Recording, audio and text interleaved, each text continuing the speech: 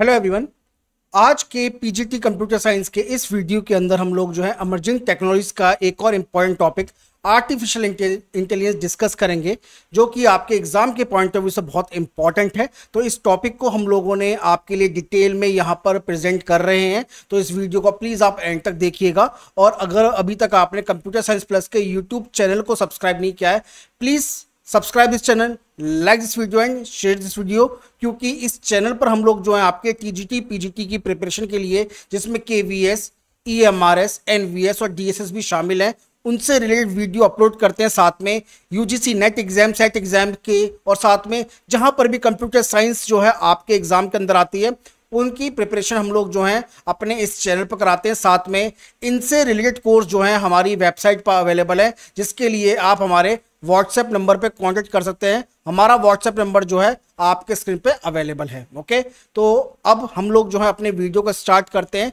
जिसके अंदर हम लोग जो है इस टॉपिक को आर्टिफिशियल इंटेलिजेंस को डिटेल में डिस्कस करेंगे। तो चलिए, अब मैं आपको अपनी स्क्रीन की तरफ़ लेके चलता हूँ। तो देखिए, जैसा कि हम लोग मैंने आपको बताया कि आर्टिफिशियल इंटेलिजेंस जो है अमर्जिंग टेक्नोलॉजीज़ में आपके सिलेबस के बेस पर है। तो इसको हम लोग जो है डिटेल में यहाँ पर डिस्कस करेंगे। इसके अलावा जो भी कोई आपका डाउट है, आप हमारे व्हाट्सएप नंबर पर और साथ में टेलीग्राम चैनल तो टेलीग्राम चैनल हम लोगों ने सेपरेट क्रिएट किया हुआ है।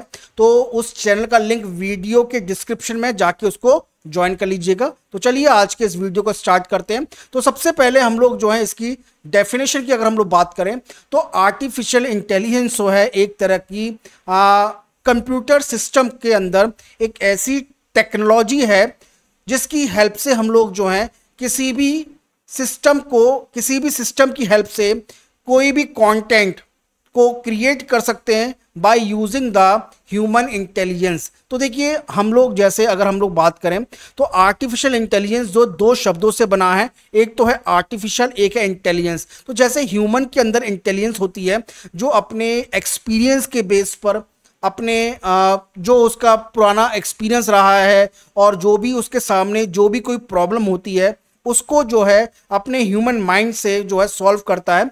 तो उसी तरीके से आर्टिफिशियल इंटेलिजेंस जो है, इसके अंदर बहुत सारे कंप्यूटर सिस्टम की नॉलेज को जो है, इसे ट्रेंड किया जाता है, जिसके बेसिस पर ये प्रॉब्लम को सॉल्व करता है। तो यहाँ पर हम लोग देखें तो artificial intelligence refers to the creation and the development of the computer system that can perform the task that typically require the human intelligence यानी जिन कामों के लिए ह्यूमन माइंड की, ह्यूमन ब्रेन की ज़रूरत पड़ती है तो ऐसे काम के लिए जो है, कंप्यूटर सिस्टम को असम्बल करके जो है, ऐसे टास्क को किए जा सके, ओके? तो उसी को हम लोग जो है आर्टिफिशियल इंटेलिजेंस कहते हैं। तो आर्टिफिशियल इंटेलिजेंस के अंदर जो है, बहुत तरह से जो है, कंप्यूटर में जो है, एक तरह से सिमुलेशन बेस्ड जो है प्रॉब्लम को सॉल्व करके मशीन की हेल्प से उसको प्रेजेंट किया जाता है। तो इसमें जो है काफ़ी सारे रूल्स बेस्ड जो हैं रूल्स के अकॉर्डिंग जो है, हम लोग जो है डिसीज़न लेते हैं, जो अभी मैं थोड़ी देर में आपको बताऊँगा। तो आर्टिफिशियल इंटेलिजेंस एक तरह का पूरा का पूरा एक सिस्टम है, जिसमें किसी भी प्रॉब्लम को स्टार्टिंग से लेकर एंड तक सॉल्व किया जाता है। उसको पहले एनालिसिस किया जाता है और उसके अंदर डेटा के अकॉर्डिंग जो है, वो अपने आउटपुट को जनरेट करता है। अब इसमें आता है नेक्स्ट पार्ट जो है कॉग्नेटिव एबिलिटीज एबिलिटीज सिमुलेशन तो कॉग्नेटिव एबिलिटीज का मतलब क्या है? तो देखिए जब भी हम लोग ये सामने कोई भी ऑब्जेक्ट आता है तो उस ऑब्जेक्ट को हम अपने पास्ट एक्सपीरियंस से ये पता कर लेते हैं कि वो ऑब्जेक्ट क्या है कितना आ, कितना उसका साइज़ है कितना वो ऑब्जेक्ट हमारे लिए हेल्पफुल है तो कंप्लीट उस ऑब्जेक्ट के बारे में हमें नॉलेज पहले से है और उसके आधार पर अगर कोई भी नई चीज़ हमारे सामने आती है तो हमारा ह्यूमन माइंड जो है, उसको अपने अंदर सिमुलेट करके जो है, उसके रिज़ल्ट हमारे सामने प्रेजेंट कर देता है। तो उसी तरीके से आर्टिफिशियल इंटेलिजेंस के अंदर भी बहुत तरह के कॉग्निटिव एबिलिटीज़ होती है, जिसको ये अपने सिस्टम के अंदर सिमुलेट करता है। अभी किसके आधार पर जो है प्रॉब्लम को सॉल्व करता है, जरा देखते हैं। तो पहला है हमारा रीजनिंग बेस्ड तो आर्टिफिशियल इंटेलिजेंस जो है एआई के जो सिस्टम है, वो किसी भी इंफॉर्मेशन को एनालिसिस करते हैं और उस इंफॉर्मेशन को एनालिस करने के बाद जो भी लॉजिकल कंक्लूजन होता है, उसको ड्रॉ करने के बाद जो है, अपने डिसीज़न को लेते हैं based on the available data तो यहाँ पर ये डेटा जो है ऑलरेडी जो है वो इनके सिस्टम में पहले से फ़ीड किया होता है, जिसको हम लोग ट्रेनिंग डेटा कहते हैं। मैं इसको बार बार आपके सामने प्रेजेंट नहीं करूँगा। तो ट्रेनिंग डेटा होता है तो ट्रेनिंग डेटा एक तरह का वो डेटा होता है, जो कि ऑलरेडी हमारे पास इसके रिजल्ट्स अवेलेबल होते हैं। अब जब भी हम लोग अपनी कोई नई प्रॉब्लम को सॉल्व करते हैं तो ट्रेनिंग डेटा के बेसिस पर, उसकी रीजनिंग के बेसिस पर हमारा जो एआई है, उसके रिजल्ट्स को हमारे सामने प्रेजेंट करता है। अब इसके अंदर जो है प्रॉब्लम सॉल्विंग के लिए प्रॉब्लम सॉल्विंग सिमुलेशन होता है। तो प्रॉब्लम सॉल्विंग सिमुलेशन में मतलब ये होता है कि हमारे पास जो भी कॉम्प्लेक्स प्रॉब्लम हमारे पास हम लोगों ने मतलब हम लोग जब भी मैं बोलता हूँ तो यहाँ पर एआई सिस्टम होता है। तो एआई सिस्टम के अंदर बहुत तरह के एल्गोरिथम्स ऑलरेडी फ़ीड होते हैं, जो कि किसी भी कॉम्प्लेक्स प्रॉब्लम को, उसको डिवाइड कर करके सॉल्व करता है और उसके जितने भी रिजल्ट्स होते हैं सॉल्यूशंस होते हैं, उनके आधार पर जो है उस प्रॉब्लम को सॉल्व किया जाता है। तो एआई एल्गोरिथम जो हैं तो देखिए अभी एआई का बहुत बोलबाला है। हर जगह आप यूट्यूब पे देख रहे होंगे, बहुत सी जगह पर चैट जीपीटी चैट बॉट और न जाने कितने सारे एआई के टूल्स अवेलेबल हैं मार्केट के अंदर तो ये जो है कुल मिलाकर आर्टिफिशियल इंटेलिजेंस की वजह से ही संभव हो पाया है। अब हमारे पास आती है लर्निंग तो लर्निंग का मतलब यह है कि जो एआई सिस्टम जो है, अपने पास्ट के परफॉर्मेंस के बेसिस पर पास्ट के एक्सपीरियंस के बेसिस पर बहुत सारा डेटा अपने सिस्टम के अंदर फ़ीड करता है। फ़ीड करता है मतलब ह्यूमन बींग उसको फ़ीड करते हैं बट धीरे धीरे जिस तरीके से ये डेटा को फ़ीड करता है, वो जो है, वो डायनामिक बेस्ड होता है, क्योंकि जो भी कोई नई इंफॉर्मेशन आती है, वो उसको ग्रेस्प करता है और उसके बेसिस पर फ्यूचर में आने वाले जो भी प्रिडिक्टिव रिजल्ट्स होते हैं, उनको ये हमारे सामने प्रेजेंट करता है ओके तो लर्निंग बेस्ड सिमुलेशंस होते हैं।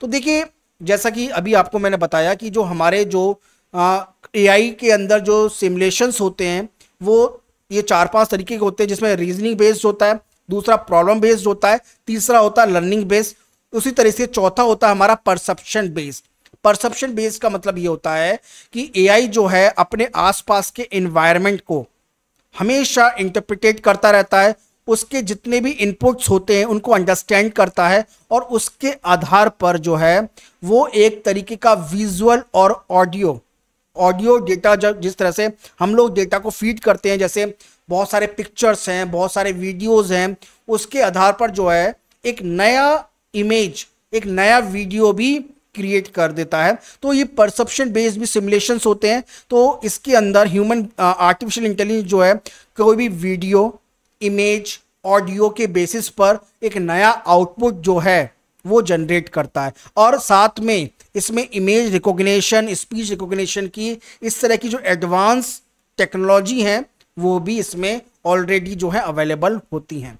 अब बात आती है इंट्रैक्शन बेस्ड तो इंट्रैक्शन बेस्ड में सबसे बेस्ट एग्ज़ाम्पल है गूगल टॉक मतलब गूगल में जो हम लोग ट्रांसलेशन बेस्ड ट्रांसलेशन करते हैं, जिसमें आपने देखा होगा कि किसी भी लैंग्वेज को दूसरी लैंग्वेज में हम लोग ट्रांसलेट करते हैं।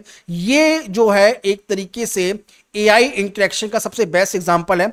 इसमें एआई सिस्टम क्या करते हैं कि जो भी ह्यूमन लैंग्वेज होती है, यानी जिस, देखिए ह्यूमन लैंग्वेज को हम लोग जो है नेचुरल लैंग्वेज कहते हैं। जैसे फॉर एग्ज़ाम्पल हिंदी है इंग्लिश है तो हमारे जो ह्यूमन बींग की लैंग्वेज को समझने की जो एक पावर होती है वो एकदम अलग होती है। बट किस तरीके से हमारा कंप्यूटर उस लैंग्वेज को समझ पा रहा है उसको इंटरप्रिटेट कर पा रहा है? फॉर एग्ज़ाम्पल गूगल असिस्टेंट है ना? गूगल असिस्टेंट से हम लोग अपने आ, कोई भी क्वेश्चन पूछते हैं। फॉर एग्ज़ाम्पल अमेजन का एलेक्सा तो यहाँ पे हम लोग जो भी सवाल पूछते हैं इन सिस्टम से तो वो क्या करता है? ह्यूमन लैंग्वेज को प्रोसेस करने के बाद उसे मशीन लैंग्वेज में कन्वर्ट करता है और आउटपुट जनरेट करता है by using the machine language to human language तो ये कुल मिलाकर जो ये है, हमारे सिमुलेशन है, ये हमारे इंट्रैक्शन बेस्ड भी होते हैं। ये बात होती है। तो चार पाँच तरीके के हमारे कॉग्नेटिव एबिलिटी सिमुलेशन होते हैं। नेक्स्ट इसमें आता है कि कौन कौन सी एआई की कैटेगरीज हैं। अब मतलब कैटेगरीज का मतलब ये होता है कि एआई जो अभी राइट नाउ हमारे सामने मौजूद है वो किसके बेसिस पर है? तो पहला है रिएक्टिव मशीन रिएक्टिव मशीन क्या होती है? कि रिएक्टिव मशीन के अंदर जो है, हम काफ़ी सारे जो प्री डिफाइंड रूल्स डिफाइन करते हैं। यानी हमारे पास बहुत सारा डेटा होता है।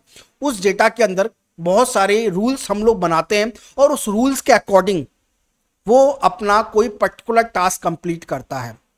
अब ध्यान रखिएगा कि ये जो रिएक्टिव मशीन्स होती हैं ये अपनी इनकी खुद की एबिलिटी नहीं होती है और किसी भी तरह का कोई जो नया इन्वायरमेंट में हम लोग इसको छोड़ दें तो वो उतने बेटर रिजल्ट्स नहीं देगा क्योंकि इसके अंदर जो भी डेटा हम लोगों ने फ़ीड किया है, ये केवल उसी के आधार पर रिजल्ट्स देता है। तो ये हमारा एआई कैटेगरी की पहली एक, हमारी मशीन है।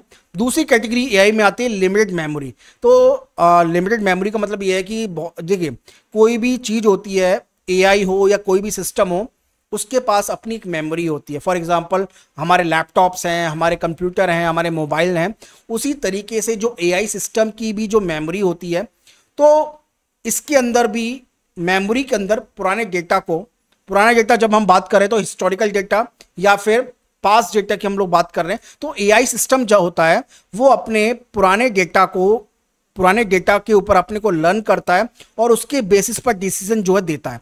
जिसमें for example self driving car जो है इसका सबसे बेस्ट एग्ज़ाम्पल है।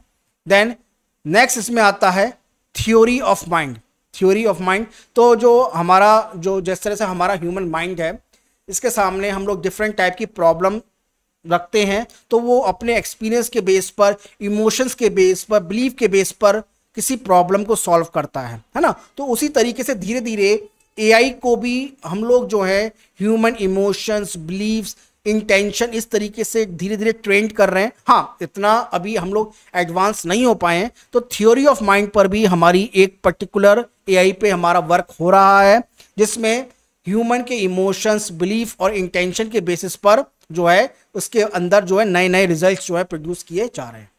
देन नेक्स्ट इसमें आता है सेल्फ अवेयर एआई अब सेल्फ अवेयर एआई का मतलब ये होता है कि इसके अंदर कोई भी पुराना डेटा नहीं होता। कुल मिलाकर जो है एआई अपना खुद का इन्वायरमेंट को सेंस करके, आसपास के इन्वायरमेंट को सेंस करके कॉन्शियस होकर, देखिए कॉन्शियसनेस एक अलग चीज़ है। वो मशीन कॉन्शियसनेस की हम लोग बात करें तो अभी मशीन के अंदर कॉन्शियसनेस नहीं आ पाई है। ये केवल अपने इन्वायरमेंट को इंटरप्रिटेट करके, उसको अंडरस्टैंड करके जो है, अपनी एक थॉट प्रोसेस को डेवलप करता है। तो इवन देखिए, ये consciousness self awareness understanding thought process जो है, ये सारे वेरिएबल जो है ह्यूमन बींग के अंदर अवेलेबल होते हैं। एआई के अंदर अभी जो है, ये सारी वेरिएबल्स जो है, अभी एबसेंट है अवेलेबल नहीं है। अब हम लोग इसके अंदर आते हैं कोर टेक्नोलॉजी के अंदर, कि एआई के अंदर अभी राइट नाउ जो है किन किन फ़ील्ड में वर्क चल रहा है। तो सबसे बेस्ट जो वर्क जो चल रहा है वो है हमारा मशीन लर्निंग का। मशीन लर्निंग की हम लोग बात करते हैं तो मशीन लर्निंग का मतलब क्या है? तो मशीन लर्निंग का मतलब यह है कि एआई देखिए एआई जो है आर्टिफिशियल इंटेलिजेंस जो है, इसके अंदर बहुत सारा डेटा होता है। अब ये डेटा जो है, हम लोग किसी पर्टिकुलर पैटर्न के बेसिस पर मतलब हमारे पास डेटा है। अब डेटा हम लोगों ने मशीन्स के अंदर डाला हुआ है। अब ये मशीन क्या करती हैं? ये मशीन जो है उस पर्टिकुलर डेटा को एनालिसिस करती हैं और एक तरह के पैटर्न को रिकॉग्नाइज करती हैं। एक तरह के पैटर्न को रिकॉग्नाइज करती हैं और उस पैटर्न के आधार पर जो है मशीन लर्निंग के एल्गोरिथम वर्क करते हैं और अपना आउटपुट जनरेट करते हैं। हाँ ये 100 परसेंट एक्यूरेट रिज़ल्ट नहीं देते हैं क्योंकि ये जो है, अपने पास्ट परफॉर्मेंस के बेसिस पर पैटर्न को रिकॉग्नाइज करती हैं। हाँ अगर कोई नया पैटर्न के सामने आता है तो ये जो है किसी भी तरह के अपने आउटपुट के अंदर उतने रिज़ल्ट अच्छे नहीं दे पाती। देन नेक्स्ट इसमें आता है डीप लर्निंग डीप लर्निंग का मतलब ये होता है कि इमेज के आधार पर स्पीचेस के आधार पर जो कॉम्प्लेक्स सिस्टम है फॉर एग्जांपल हमारा न्यूरल नेटवर्क तो एक तरह की ये एक special kind of machine learning है, जिसमें न्यूरल नेटवर्क के सिस्टम अवेलेबल होते हैं और जो कि बहुत कॉम्प्लेक्स डेटा को भी एनालिसिस करके इमेजेस और स्पीच को एक नए टास्क में कन्वर्ट करता है। फॉर एग्ज़ाम्पल आपने क्या किया? बहुत सारे वीडियोस और ऑडियोस की फ़ाइल को एक जगह पर रखकर एक नया वीडियो क्रिएट किया। ये पॉसिबल हो पाया है डीप लर्निंग की हेल्प से। फॉर एग्ज़ाम्पल आपने देखा होगा बहुत सी जगह पर आजकल यूट्यूब में बहुत सारे जो यूट्यूबर हैं, वो कर रहे हैं कि अपने ऊपर एक नया किसी एक्टर या एक्ट्रेस का चेहरा लगा देते हैं। तो वो जो है डीप लर्निंग की वजह से ही पॉसिबल हो पाया है। देन नेक्स्ट इसके अंदर आता है न्यूरल लैंग्वेज न्यूरल लैंग्वेज का मतलब ये होता है हमारा कि जो एक तरीके से नेच सॉरी नेचुरल लैंग्वेज प्रोसेसिंग है। नेचुरल लैंग्वेज प्रोसेसिंग का मतलब है हमारा कि ह्यूमन लैंग्वेज को अंडरस्टैंड करके इंटरप्रिटेट करके एक ह्यूमन लैंग्वेज के अंदर ही उसको आउटपुट देना, है ना? जैसा कि अभी मैंने बताया था फॉर एग्जांपल हम लोग जो हैं गूगल असिस्टेंट की हेल्प लेते हैं तो ये एक तरीके का एआई का एक अलग टाइप की कोड टेक्नोलॉजी है जिसपे बहुत वर्क इस समय चल रहा है। देन नेक्स्ट इसमें आता है कंप्यूटर विजन कंप्यूटर के अंदर, देखिए एआई की हम लोग बात करें और कंप्यूटर विजन की बात ना करें, ऐसे ना हो, नहीं हो सकता। तो कंप्यूटर के अंदर, जो कंप्यूटर सिस्टम है, वो बहुत तरह के विजुअल इंफॉर्मेशन को इंटरप्रिटेट और अंडरस्टैंड करके एक नई तरह के इमेज और वीडियो एनालिसिस के अंदर करता है। फॉर एग्ज़ाम्पल अभी राइट नाउ मैं वीडियो बना लूँगा, फिर इसके बाद मैं वीडियो को एडिट करूँगा। है ना? अब वीडियो को एडिट करना जो है, अभी राइट नाउ मैं वीडियो जो एडिट करूँगा वो मैनुअल बेस्ड होगा। अब कहीं पर मेरे पास ऐसी टेक्नोलॉजी आ जाए, जो कि मेरा सिस्टम जो है, मेरे इस वीडियो को, मेरे पास्ट के वीडियो के आधार पर जो है, इसे जो है एडिट कर दे। That is example of computer vision okay medical images medical images जो है मेडिकल इमेजेस हैं ब्रेन ट्यूमर इमेजेस होती है, जिसके अंदर जो है मेडिकल इमेजेस के अंदर हम किसी भी ट्यूमर को डिटेक्ट करते हैं। That is example of computer vision okay then next इसके अंदर आता है रेनफोर्समेंट लर्निंग रेनफोर्समेंट लर्निंग में क्या होता है कि जो एआई सिस्टम है, वो ट्रायल एंड एरर के बेसिस पर जो है, एक पर्टिकुलर किसी भी सिस्टम को फीडबैक करके उसके एक्शन को ऑप्टिमाइज करने की कोशिश करता है। This is example of reinforcement learning जब हम लोग एआई के बारे में पढ़ेंगे, खासतौर से एक्चुअल में आपके सिलेबस में एआई में इतना नहीं है, जितना यूजीसी नेट एग्ज़ाम के अंदर है, केवल अपना जो डिस्कशन है, वो केवल इसी लेक्चर तक रखिएगा, ज़्यादा अंदर डीपली जाने की कोशिश मत करिएगा ओके अदरवाइज़ आपके एग्ज़ाम में हाँ आपको पीएचडी नहीं करनी है, आपको अपना एग्ज़ाम क्वालिफाई करना है। अब बात आती है एआई की कौन कौन सी एप्लीकेशन हैं तो सबसे बेस्ट इसमें एग्ज़ाम्पल है हेल्थ केयर तो एआई की हेल्प से जो है बहुत तरह की मेडिसिन ट्रीटमेंट और बहुत तरह के मेडिकल इमेजेस के ऊपर वर्क चल रहा है. तो एआई का बहुत बड़ा एप्लीकेशन जो है हेल्थ केयर में अवेलेबल है.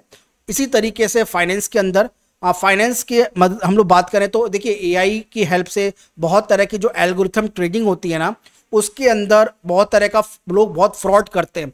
तो उस फ्रॉड को डिटेक्ट करके और बहुत सारे तरह के जो रिस्क अवेलेबल रिस्क को एनालिसिस करते हैं कि जब भी कोई फाइनेंस का जो टर्म आता है तो उनसे रिलेटेड एल्गोरिथम अवेलेबल होते हैं। उनसे रिलेटेड बहुत तरह का रिस्क अवेलेबल होता है। तो उस रिस्क को मिनिमाइज करके लोगों के सामने प्रेजेंट करना, है ना? बहुत सारे बहुत सारे ऐसी पूंजी स्कीम्स होती हैं, लोग जो है, लोगों के सामने प्रेजेंट करते हैं और लोगों का पैसा लेके भाग जाते हैं। तो जब भी कोई फाइनेंस के अंदर इस तरह का कोई वर्क आता है तो अगर हमारे पास सिस्टम अवेलेबल है तो उस को एनालिसिस करके दुनिया के सामने लेके आ सकते हैं कि भाई इस सिस्टम के अंदर जो ये जो लोग इस तरह की जो स्कीम बता रहे हैं इसके अंदर फ्रॉड है है ना? तो ये फाइनेंस की फाइनेंस के अंदर भी जो एआई की बहुत सारी आ, एक फैसिलिटी अवेलेबल है।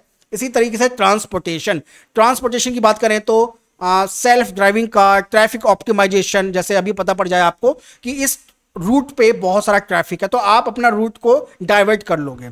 खास तौर से हम लोग आजकल जो है गूगल की गूगल मैप की मदद से ऐसा हो, हो रहा है बट इंडिया में पॉपुलेशन ही इतनी है कि हर रोड पे इतना ट्रैफ़िक रहता है तो जाए कहाँ से कहाँ ना जाए तो ये भी जो है एक अलग तरह की प्रॉब्लम है है ना? तो एक तरीके का सेल्फ ड्राइविंग का ट्रैफ़िक ऑप्टिमाइजेशन एक तरह की जो व्हीकल्स को मेंटेनेंस करने का जो प्रॉब्लम है ट्रांसपोर्टेशन के अंदर जो है आता है और इसके अंदर भी जो है एप्लीकेशन एआई की जो है नई नई एप्लीकेशन देखने को मिल रही है। Then education personalise learning tutorial system adaptive assessment जो है एजुकेशन के अंदर जो है एआई की बहुत एप्लीकेशंस हैं। और ख़ास तौर से ह्यूमन माइंड जैसे आ, कोई पर्सन है वो उसके सामने जब भी हम लोग कोई चीज़ प्रेजेंट कर रहे हैं उतना ग्रेस्प नहीं कर पा रहा तो वो अपने अकॉर्डिंग अपने बेसिस पर किसी भी चीज़ को लर्न कर पाए। खास तौर से यूट्यूब की हेल्प से ऐसा हो पाया है अदरवाइज़ पहले हम लोग क्लासरूम लर्निंग पे बेस करते थे पर अब राइट नाउ जो है आप देख रहे होंगे कि कहीं ना कहीं जो डिजिटल टेक्नोलॉजी ने लोगों के सामने एजुकेशन का एआई का बहुत बड़ा जो स्कोप है वो लाके रख दिया है। इंटरटेनमेंट खासतौर से इंटरटेनमेंट की बात करें तो गेमिंग के अंदर कंटेंट क्रिएशन के अंदर रियलिटी एक्सपीरियंस के अंदर जो है एआई की बहुत बड़ी बड़ी एप्लीकेशन आती हैं। देन इसके अंदर भी आ, हम लोग एआई की बात करें तो कुछ एथिकल और सिक्योरिटी कंसर्न है एआई के अंदर जिसमें पहली बात तो यह है कि एआई जो है काफ़ी हद तक जो अभी तक के जो सिस्टम के अंदर जो है, वो बायसनेस और फेयरनेस का एक प्रॉब्लम क्रिएट कर रहा है, क्योंकि इसके अंदर जो डेटा अवेलेबल होता है डेटा ट्रेन डेटा के बेसिस पर जो है, ये अपना रिज़ल्ट निकालता है। है ना? क्योंकि अब अगर कोई मान लीजिए कोई आउटपुट आपने, आपके सामने कोई अलग तरह का इनपुट आएगा, और उस तरह का ट्रेनिंग डेटा हमारे सिस्टम के अंदर अवेलेबल नहीं होगा तो ये हमें जो रिज़ल्ट देगा, वो उतने एक्यूरेट नहीं देगा। जॉब डिस्प्लेसमेंट देखिए, जैसे जैसे एआई का बोल बाला हो रहा है तो बहुत तरह के जो जॉब है, वो ऑटोमेशन मोड पे जा रहे हैं तो बहुत तरह की जो जॉब्स हैं, वो जा रही हैं। जा रही हैं, ये हंड्रेड परसेंट सही है। तो अनएम्प्लॉयमेंट बढ़ेगा थोड़े कुछ सेक्टर्स के अंदर बट साथ में एम्प्लॉयबिलिटी भी बढ़ेगी कुछ अलग सेक्टर के अंदर। तो कुल मिलाकर आपको नई नई स्किल्स सीखनी पड़ेंगी, अगर एआई आता है। आ ही रहा है ऑब्वियस बात है है ना? तो उस तरह की जो स्किल्स होंगी, वो आपको ग्रेस करनी पड़ेगी।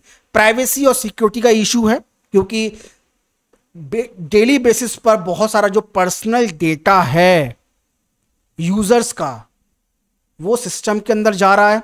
और जब सिस्टम के अंदर इतना सारा डेटा जाएगा तो आप खुद समझ सकते हैं कि किसी भी ह्यूमन बीइंग को टारगेट करना कितना आसान हो जाएगा। तो ये एक कंसर्न है। उसी तरीके से जो है ऑटोनोमस डिसीज़न मेकिंग मतलब एक तरीके से आ, अपने आप ही किसी भी तरह का डिसीज़न ले लेना ऑटोनोमस तो ऑटोनोमस का मतलब ये होता है कि देखिए, जब भी हम लोग ह्यूमन बींग जब भी कोई प्रॉब्लम होती है तो उसके आधार पर हम लोग खुद अपने डिसीज़न लेते हैं। बट कोई हमारी जगह पर हमारे लिए डिसीज़न लेगा, वो कितने एक्यूरेट होंगे और हम लोग उस पर कितना रिलायबल कर पाएँगे, ये भी अपने आप में एक बड़ी प्रॉब्लम है। Okay okay? ये आती है। देन नेक्स्ट इसके अंदर आता है हमारा आ, कुछ फ्यूचर चैलेंजेस की बात करें तो फ्यूचर भाई आ, कोई चीज़ आ रही है तो उसके अपने कुछ के फ्यूचर चैलेंजेस भी होंगे। एक्सप्लेनेबल एआई यानी अब जैसे जैसे एआई जो है केवल फैक्ट बेसिस पर जो रिज़ल्ट दे रहा था पर धीरे धीरे हम लोग चाहते हैं कि जो भी चीज़ ये हमारे सामने प्रेजेंट करे तो उसका एक प्रॉपर एक्सप्लेनेशन जो है ह्यूमन बींग के पास प्रेजेंट करे। अभी राइट नाउ ह्यूमन बींग कोई प्रॉब्लम प्रेजेंट करता है तो उसको सॉल्व कर देता है। तो उसका उसका एक्सप्लेनेशन को उसकी ज़रूरत नहीं पड़ती। बट अगर एआई जब कोई इस प्रॉब्लम को सॉल्व करेगा तो उसके लिए क्या क्या ज़रूरत पड़ेगी? ये जो है फ्यूचर चैलेंजेस है। कंटिन्यूस लर्निंग कंटिन्यूस लर्निंग का मतलब यह है कि जैसे जैसे नया नया इंफॉर्मेशन आएगा बड़ी बड़ी बातें होंगी तो उसी तरह की जो डेटा है, वो भी हमें अपने सिस्टम के अंदर फ़ीड करना पड़ेगा।